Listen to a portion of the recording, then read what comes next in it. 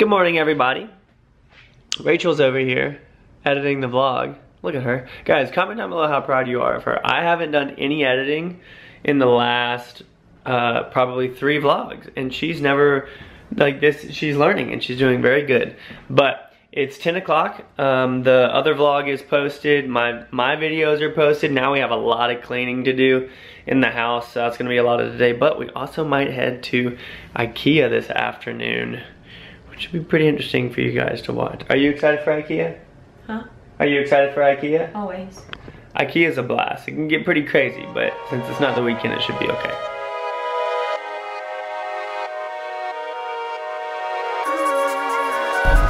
I'm heading to uh, lunch right now with my buddy Ian. Uh, I know him from uh, my church and uh, the youth group that I go to. So we're gonna go grab some lunch. I'm excited about it. I love this spot. They have an amazing sandwich and I can't wait to eat it.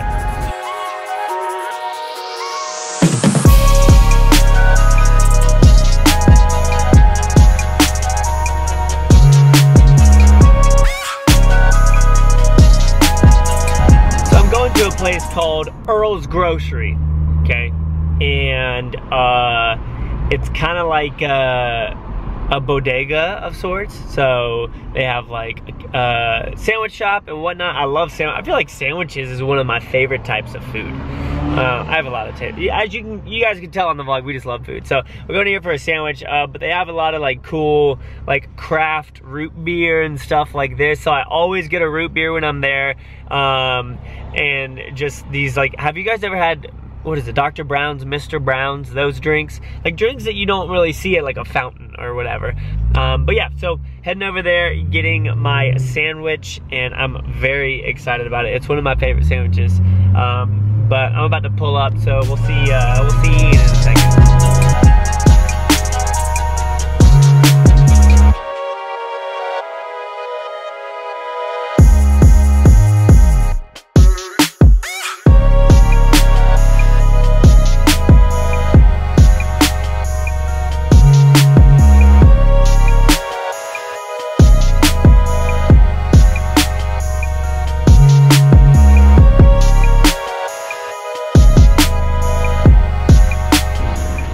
Just saw Ian walk inside. He ran across the street. A guy just uh, recognized me and said, hey, Molt. so it's pretty funny, but we're walking into Earl's now. All right, so I made it to Earl's. Ian's with me, and uh, we got two turkey sandwiches with bacon on them. Because a club sandwich is my favorite type of sandwich. What type of sandwich? Do you have a favorite type of sandwich? Anything Italian. Italian? Yeah, anything Italian. All right, so he likes Italians. I like club sandwiches, so I always put bacon on it. But we're gonna enjoy this. We got some root beers. We're gonna hang out, and then I'll catch you guys up.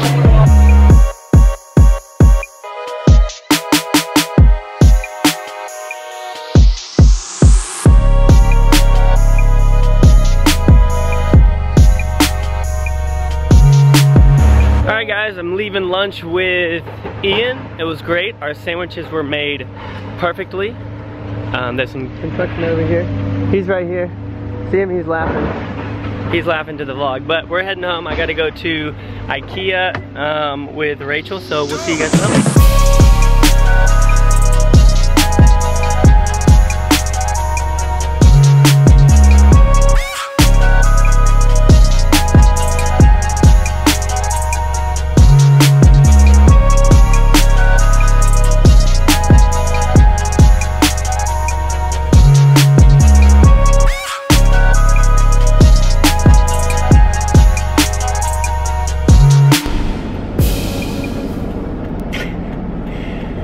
We just stopped at the Habitat Restore to drop off the lights that we switched out. And also, what else was in that, uh, what else did we drop off, Michael? a microwave that I actually uh, replaced myself. Guys, I've done, a, I, even though I never knew anything about handy stuff, I've installed lights and microwaves. You did, but you were trying to make fun of the fact that it was in my house for four months. it sure was. I'm being honked at. even though you still can't go. Well, that Buick was gonna kill me if I didn't accelerate. Uh, a Buick just honked at us because they wanted us to turn into oncoming traffic, which is fine. Like, right? I mean, I guess that's ultimately my choice. You know, but we're heading to Ikea now, so see you guys there.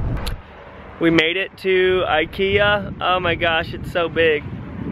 I'm worried. I actually enjoy it because we know what we're here for. When you don't know what you're here for, it can be pretty difficult because you just you just get lost, right? What? The fact that we know You're know never lost in No, the Ikea. fact that we know what we're here for makes it a little bit easier. Oh, but that doesn't stop me. This is like the target of of furniture stores where I just end up with like six mason jars and a weird sponge I didn't. Yeah, we're definitely we'll show you we'll show you guys uh, what we grab in a little bit. Michael, that's a cool shirt. Yeah, you like it? Yeah, y'all go to Brightstone, B-R-T-S-T-N dot com. Or brightstoneapparel.com. Check them out.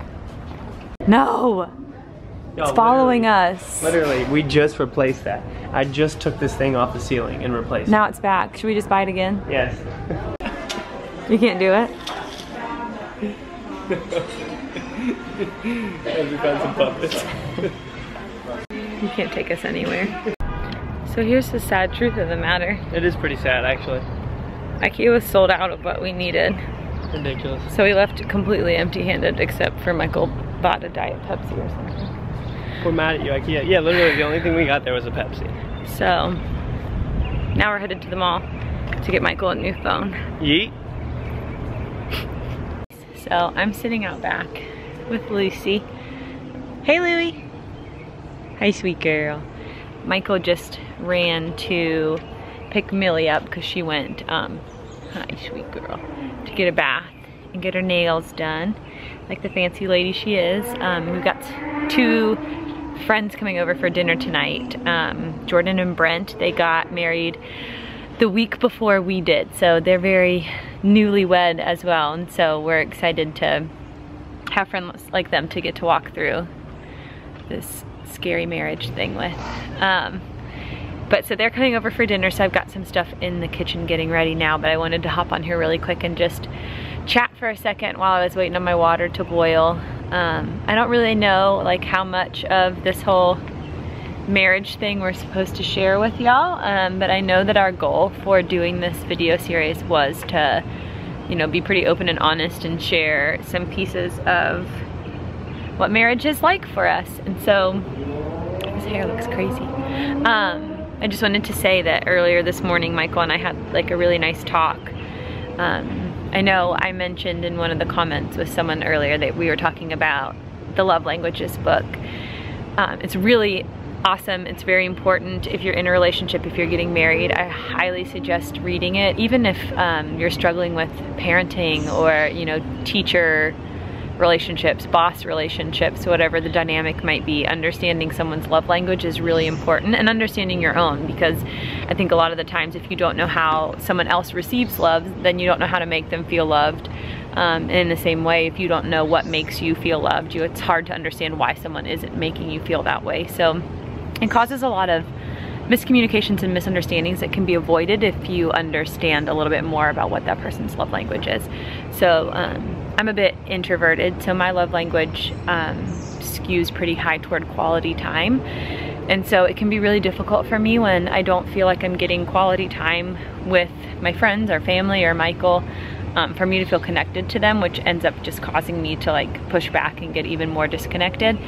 Um, and so as hard as it is to believe in our first couple of weeks of marriage, especially since we've gotten back from the honeymoon, because I think I got so much quality time with Michael on the honeymoon that when we came back, it was almost kind of an adjustment to be like, oh wait, this is what life is like. Like he has work and I have commitments and we have friends to see and things to do and errands to run and things to move and you know we aren't necessarily getting to have a ton of quality time together.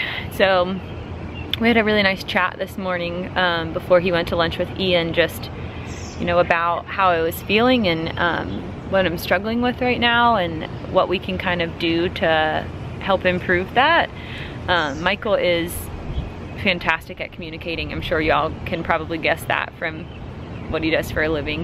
It's not something I'm very good at. I don't like to express my emotions. I don't like to talk about my problems. I'm one of those people that um, would prefer to just kind of deal with it on my own and you know brush it aside until it doesn't bother me anymore. Um, and you know with years and years of therapy and stuff, I've learned that that's not the best way for me to handle it. Um, learning to process my emotions and express my emotions is really important too. So it's nice to have someone like Michael that makes me feel comfortable being vulnerable and expressing those types of concerns. Because even though you know, he's not doing anything intentionally wrong by us not having, or me not feeling like I'm getting quality time. And he doesn't ever make me feel like, oh, you're crazy for thinking that. Like, can't you see like these very true things um, in that statement? You know, like, can't you see why we're not getting this time? And don't you understand that? Like, he more so is just like, okay, that makes sense. Like, I can understand how that upset you. Oh, the dogs are back. Um, oh my God. Lucy. But anyway, so getting to, The dogs are here. the dogs are here. Look, film them. that about wraps up my conversation. Um, oh, Millie has a nice bandana on. Yeah. Um, but yeah, so it was nice to get to have a good chat and talk about it. And um, oh, Lucy, probably don't sniff that. She's pooping. Oh no. She's pooping. Millie, show the world your bandana. Well, don't you look nice? Millie. Our friends are on their way, and this uh, little chef right here has made some mac and cheese and some, what's that? Green beans. Garlic green beans. Mhm. So there's garlic on top of the green beans, and then we have nothing inside of that teacup. Uh, and we've got some chicken in the oven, but we're not gonna open it because you gotta keep the heat in. Um, so they should be here in a little bit, and then we'll get dinner. Okay. All right, our friends just got here. This is Brent and Jordan. Uh, Rachel made chicken and mac and cheese and vegetables. She's right here. Millie's right down there. Uh, Lucy's in the bedroom because it was thundering earlier and she's scared of thunder, so she needs a safe place. So we're gonna enjoy our dinner and put the camera down. Well guys, Jordan and Brent just left. We uh, talked for a very long time. It's the first time they've been over for dinner. They were a part of our life group and stuff uh, though, so they've been over before. The dogs are playing right now. Louie's being a goofball. But we had an absolute blast with them. Uh, great friends. You, always know people by how you're able to talk to them. So we had a great time with them. But I think we're going to call it a night, so we will see you guys tomorrow.